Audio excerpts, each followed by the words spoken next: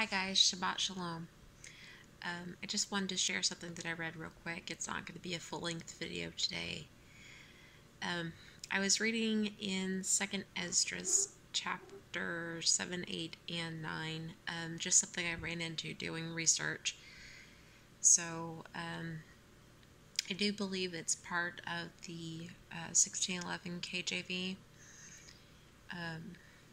So many of you may be familiar with it, many of you may not be familiar with it. Um, it's not included in um, the current publications of the Eth Cepher, um, but I think it might be included in a future uh, publication of the Eth Cepher, but I'm not for certain. So um, I just wanted to share this with you guys. I found it and thought it was pretty interesting. Um, and this is the Lord speaking to Ezra. I considered the earth and observed it was ruined. I considered my world and observed it was in danger because of the intrigues of those who had come into it.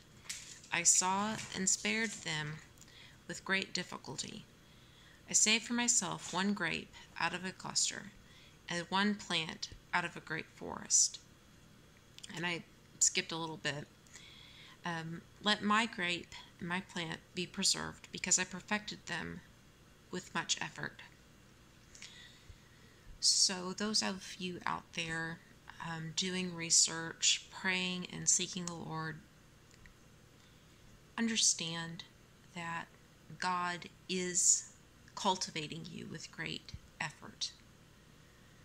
Um, this this section made me tear up when I first read it thinking about all the labor that our Father God had gone through and, you know, to preserve that one grape and that one plant.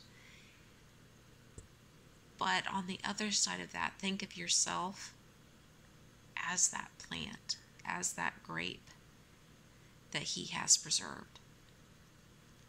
You know, that He is working on you to perfect you and to bring you into fellowship with Him. So know that you're much loved